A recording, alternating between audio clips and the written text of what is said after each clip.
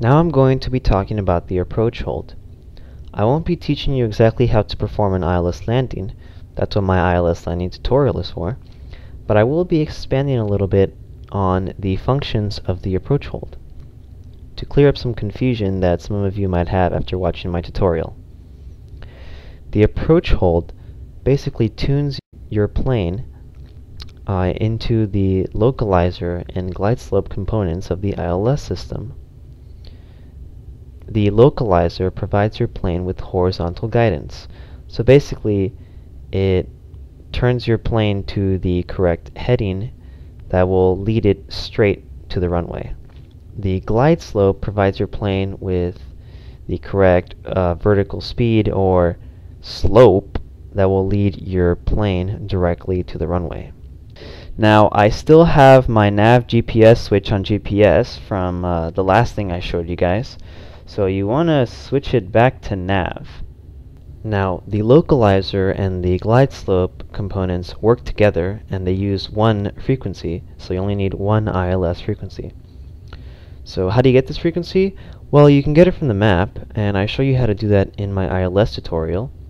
So I'm going to show you guys a different way to do it, uh, but it gives you the same thing. So I'm going to teach you guys how to um, get the ILS frequency using the GPS. So let's open it up. You want to click on the upper set of arrows, the right one. That brings you to this page. You want to click on the center button, which highlights the code. You want to click on the lower set of arrows, the right one. That highlights the first letter. This allows you to type using your keyboard. So we're going to type uh, Kilo Sierra Echo Alpha. And that will give us Seattle Tacoma International Airport. We want to hit enter, which highlights it. Hit enter again. Now nothing is highlighted. Now we want to click on the lower set of arrows and it brings us these pages of information about Seattle Tacoma, we want to come to this page with the frequencies. You want to click the center button that highlights the code on the top, clicking the lower set of arrows, or excuse me, sorry, clicking the upper set of arrows brings you down to the main box. And now now you can use the lower set of arrows to or excuse me, you're still using the upper set of arrows. Uh, these um, these uh, three buttons right here are really confusing sometimes. And uh, you just, so you just keep using these arrows to move down to the ILS frequencies. We're going to be using 16 left. So we want to get this frequency 110.30. We uh, close the GPS, open up the radio stack, go to nav1 standby, choose 110.30. We want to switch it to the active. To do that, we must press this button in the center. Now what you want to do is you want to go down here and you want to click on nav1 which is the same place we just put in the ILS frequency and what this does is that when we are in range of the localizer we will hear a Morse code that corresponds just to that localizer. You can verify the Morse code in the map. So right now, as you can see, VOR1 is blank and there's no Morse code. We are not in range of the localizer yet.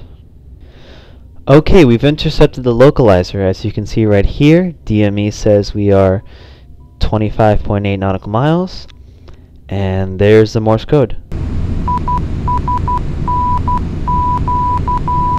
So we've intercepted the localizer, but not the glide slope. We know we've intercepted the localizer because we can see right here VOR DME. And if you have the flight director on, you'll see that we only have one diamond telling us to go to the left, which makes sense because the localizer provides us with uh, horizontal directions. The glide slope provides vertical, and we have not intercepted that yet. Because of this, we want to turn on nav hold. Now I know what you're thinking. I thought we were doing approach hold. That's correct. But since we have not yet intercepted the glide slope, we can't turn on approach hold because approach hold looks for horizontal and vertical directions, and it doesn't have vertical yet. And if you press approach hold, um, if the altitude hold is off, then there is no, uh, there's nothing to tell it where to go as uh, vertically. So for right now, we want to keep it on nav hold and wait till we intercept the glide slope. You'll know it when you have another diamond right here. Okay, we just intercepted the glide slope. You can now see that we are below the glide slope because the diamond is up here. We also have the below glide slope light. Now it is safe to turn on approach hold. Now, because we are below the glide slope, the altitude hold remains on because if you turn that altitude hold off, nothing will be controlling your altitude. So you must keep that on until that pink diamond falls below uh, level flight. So there it is, it's falling. Once that pink diamond reaches the center, the altitude hold should be disabled and the plane should start descending. Watch carefully.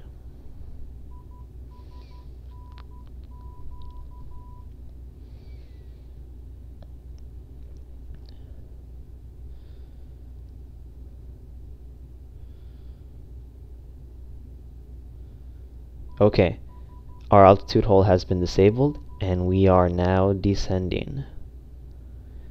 And that is basically how to use the approach hold and I basically just taught you um, how to do an ILS landing as well. And that concludes my tutorial on autopilot functions. If you want to learn more about ILS landings, uh, I suggest you check out my basic but complete ILS landing tutorial. Um, hopefully this video cleared up uh, some things about uh, the autopilot functions and maybe about the approach hold. I know some of you have been a little bit confused about that after watching my ILS tutorial. So hopefully that I cleared up some things. And again, I am not a real pilot, so I cannot guarantee that everything is done 100% correctly. Um, again, thanks for watching, and um, we'll see you later.